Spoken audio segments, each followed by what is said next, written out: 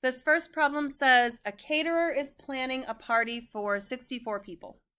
The customer has $150 to spend. A $39 pan of pasta feeds 14 people. A $12 sandwich tray feeds 6 people. How many pans of pasta and how many sandwich trays should the caterer make? Now, the most important line in this entire thing is how many pans of pasta and how many sandwich trays should the caterer make? That's the question that we have to answer. In English, the first sentence is the most important. In math, the last sentence is most important. Now, in this problem, there are six numbers. Of those six numbers, three of them are about money, three of them are about something else. So I'm going to highlight the three numbers that are about money. One of our equations is going to come from those three numbers about money. So in this first row, I'm going to write money. The other three numbers, what do they describe? People.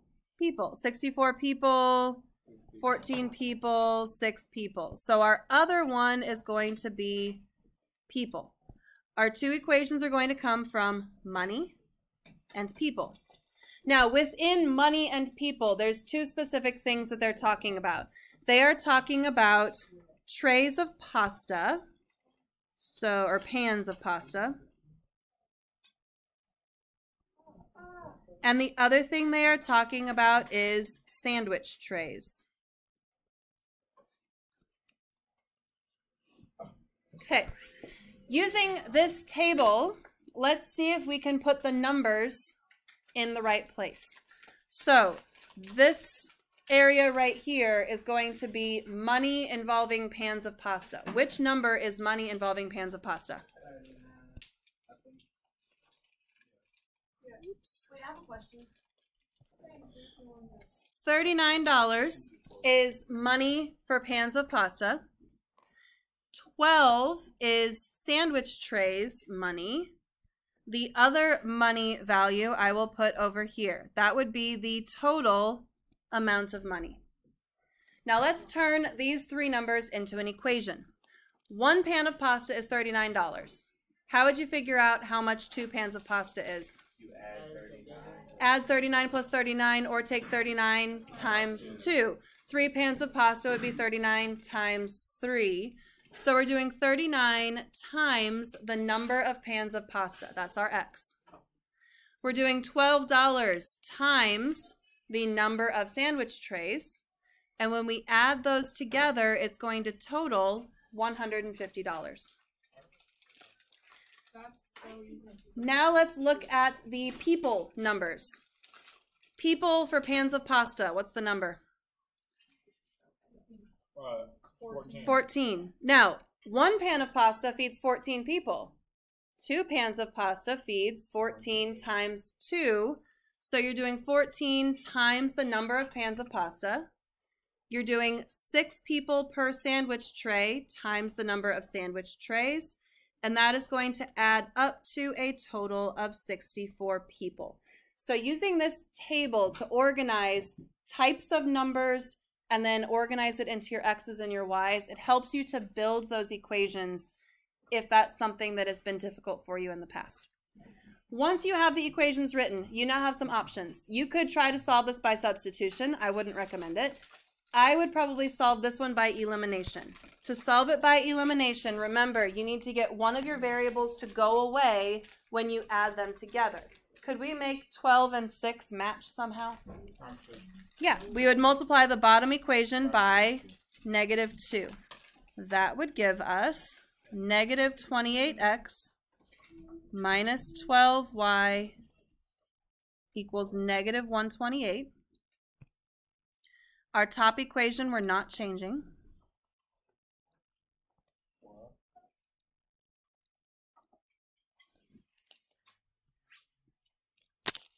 Now those two equations are ready for elimination. You're ready for elimination when you have that positive negative match. So if you add these two equations together, the y's are going to eliminate. 39 plus a negative 28 is 11, so we have 11x. 150 plus a negative 128 is 22. So x equals 2. X is pans of pasta, so one part of our answer is two pans of pasta. Now we have to figure out how many sandwich trays. How do we figure out how many sandwich trays? We need to plug in x equals 2 into one of the original equations. I think I'm going to pick the 14x plus 6y equals 64.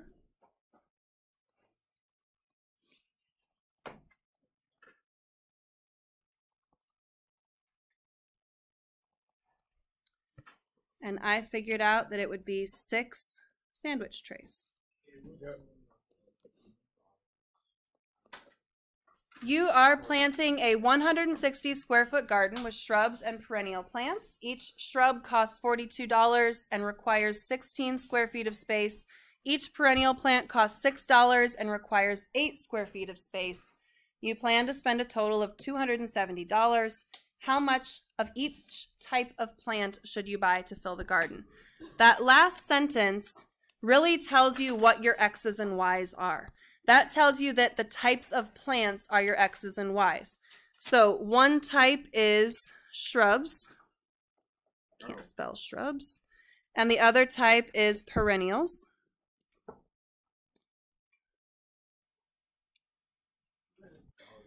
And sorry about that blip. And then this last part will be totals. In this problem, there's two types of numbers. The number types are money and square feet or amount of space that each thing takes. I want you to try to take a minute and write the two equations. Be brave, give it a try. If you're wrong, it's not a big deal. We'll just erase it and fix it. I want you to be brave and try. So if you're watching the video, pause the video, try writing the equations, and then play.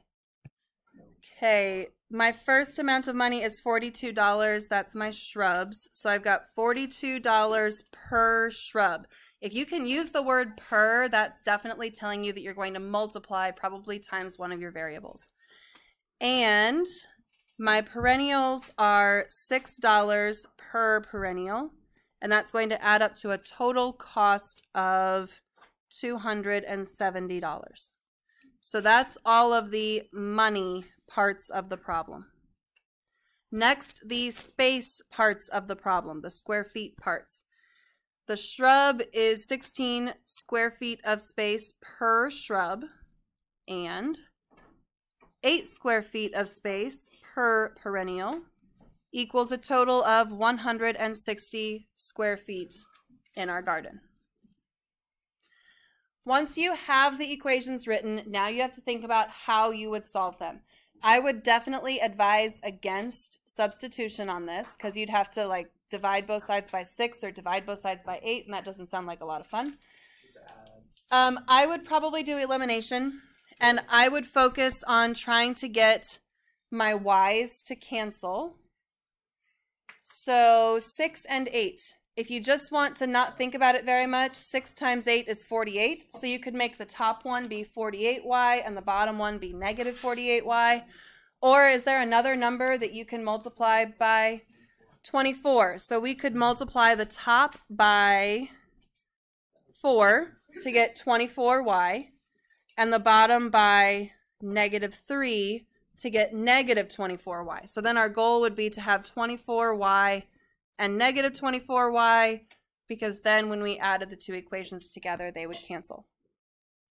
Number three is a little bit different, and I want to make sure we go through it.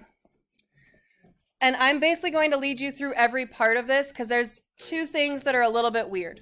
Okay, first of all, walnuts cost 3.50 per pound.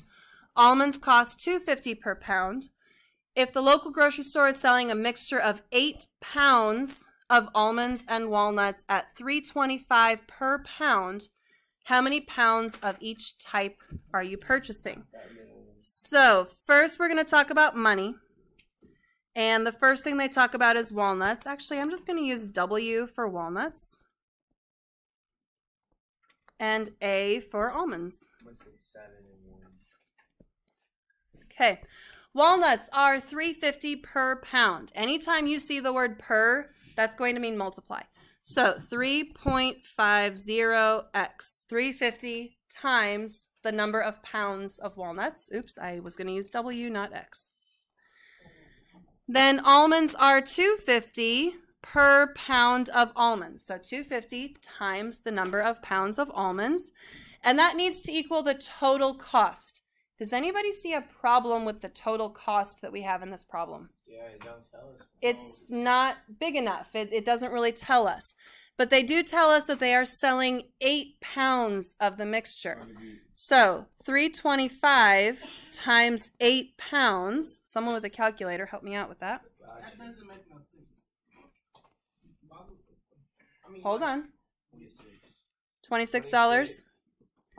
So we are going to spend $26 total.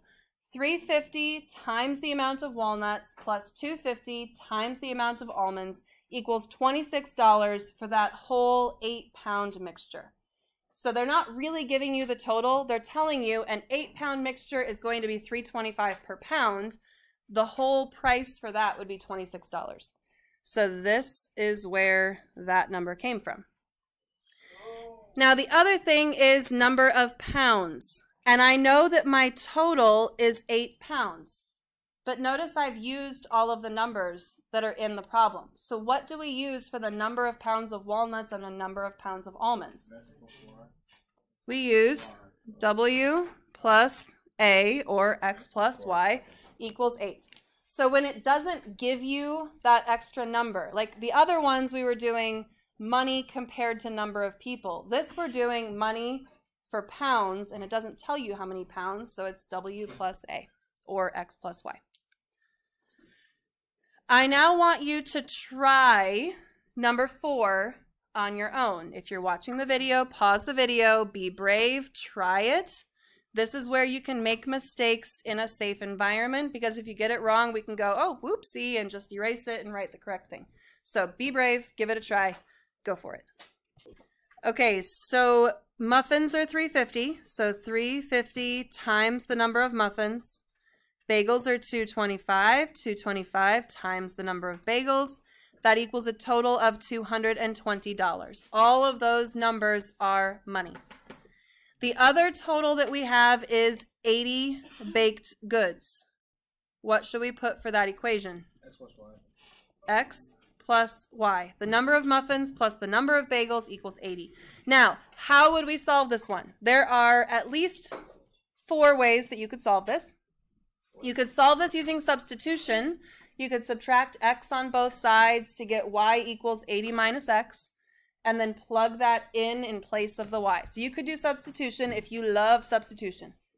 If you prefer elimination, what I would do is multiply the bottom by negative 2.25 so that I had positive 2.25y and negative 2.25y, and then I'd solve and figure out how many muffins.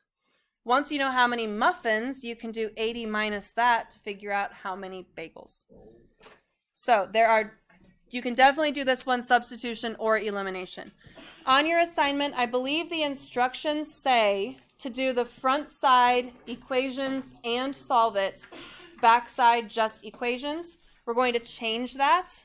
On the front side, you do still need to write an equation, a set of equations for all of them. Pick three of them that you would like to fully solve. And then the backside, you just do. On the back side, you just have to write the system of equations.